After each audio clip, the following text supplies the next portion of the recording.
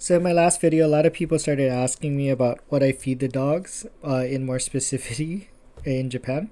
I will start off by saying that my brother and I do feed our puppies kibble, but that's just due to current financial restraints. Um, but we also supplement the kibble with things that are said to have potential health benefits for the dogs. So on top of the kibble, currently the puppies have a mixture of moringa powder, turmeric powder, coconut oil, Greek yogurt, eggs, and I top that off with a dried unsalted fish.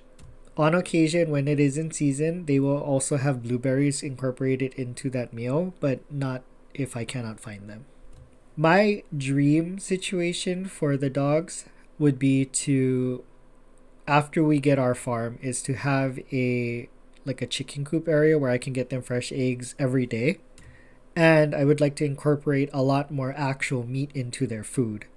Uh, I don't think that I would honestly stop feeding them kibble just because kibble is it is balanced in a lot of ways. But maybe I would have to kind of look into how to make my own kibble just so that I could I don't know.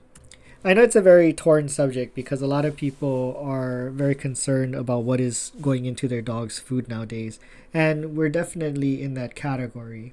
So I think as time progresses, I definitely have to take a deeper look at that. But for now, that's currently what the dogs are getting fed. I'm kind of curious to know what you guys feed your dogs, and then like if there's anything special that you add to it. Okay, bye.